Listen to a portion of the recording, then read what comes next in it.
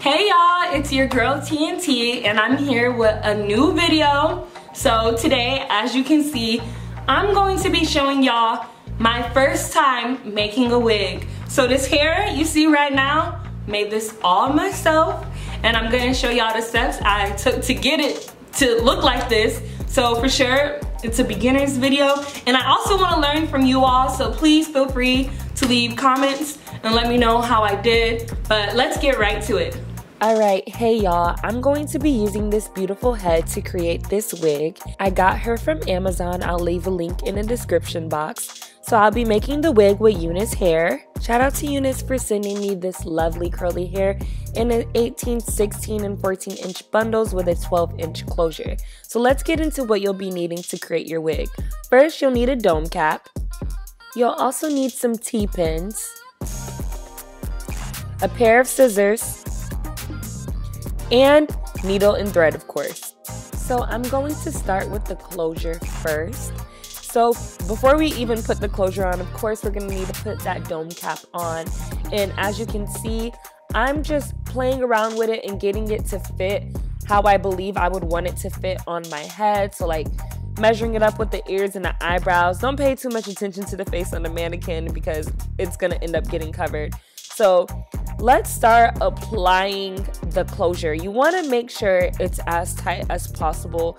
You can't really tell from the angle that I'm filming at um, because, you know, as I said, it was my first time doing this. So I was really taking my time making sure that um, closure was really tight. As you can see, I'm holding it in place with those T-pins that I mentioned you'll be needing earlier. So when I say you want to make sure your closure is tight, I basically mean you want to make sure that it is laying completely flat on your mannequin so that when you sew it on, um, it lays flat on your head when you put your wig on.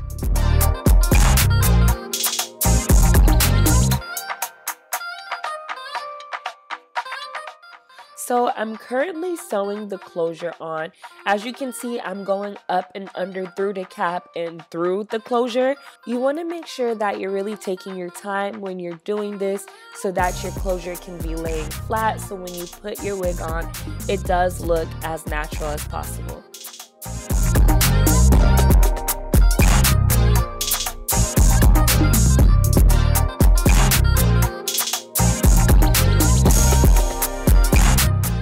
So an important detail is when you get to the elastic part of the cap, you want to make sure that you're only sewing on top of the dome cap and not through the elastic band because if you do that, your cap won't stretch.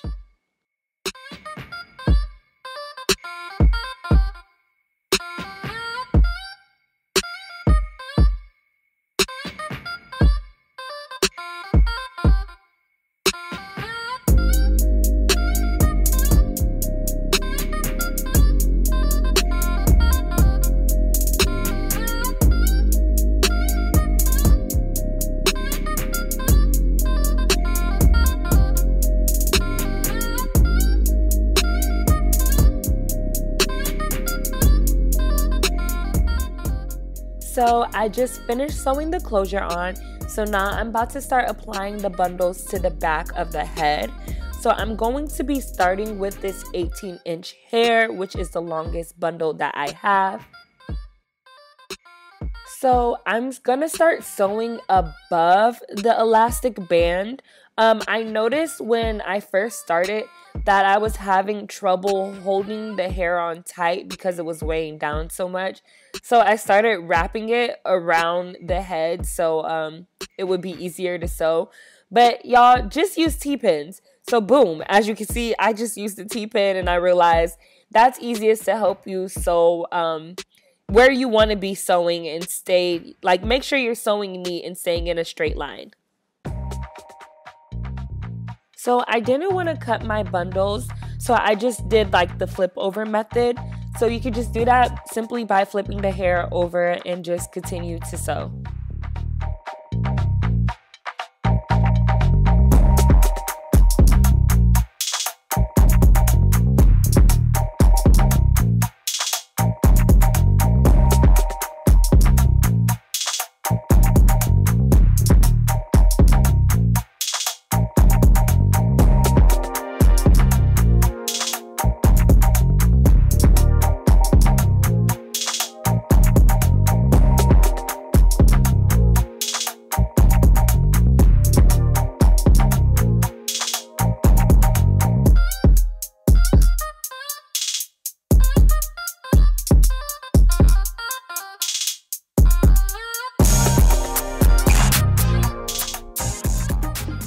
After I finished sewing on about two to three rows of the back, I started um, sewing all the way down to where the edge of the cap where my ears are.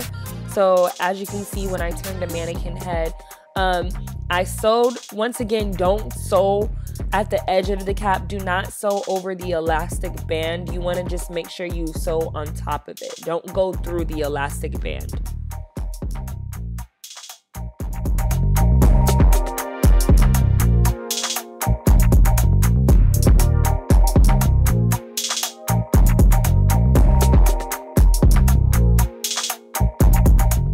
I finished sewing on all of the 18 inch, so I'm about to start with the 16 inch bundle.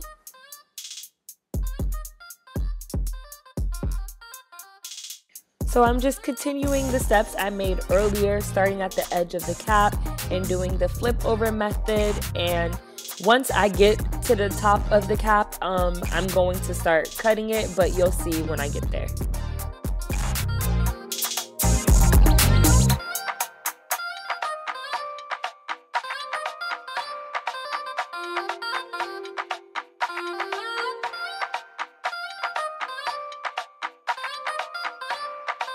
Thank you.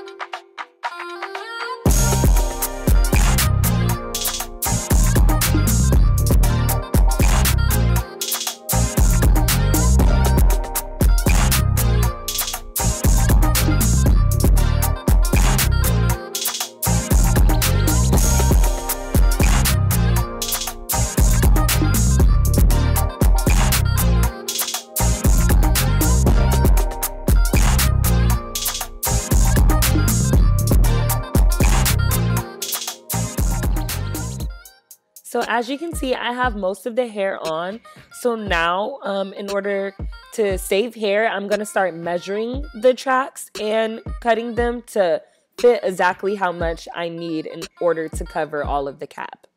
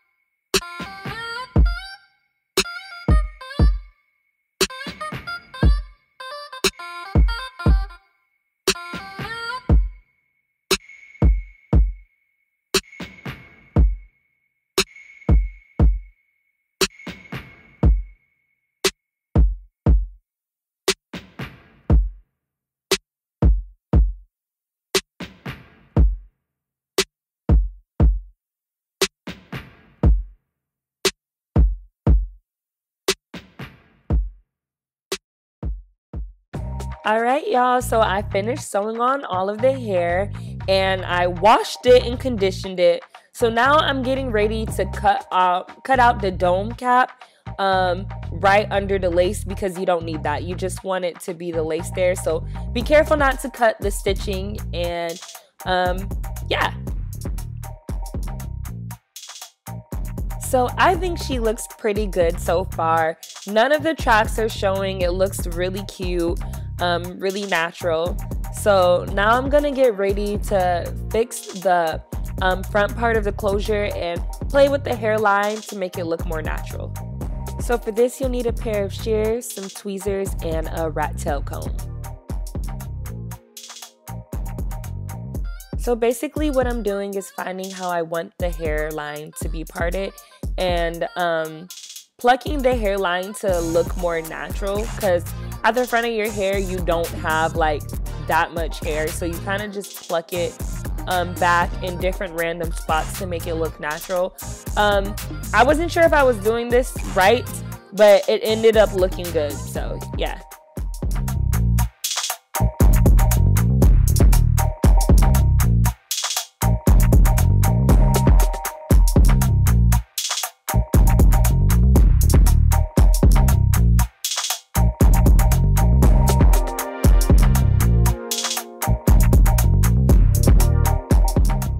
I did try to cut some baby hairs, but um, I honestly didn't even end up, you know, laying the baby hairs down when I wear the wig. So it's up to you if you want to do that or not.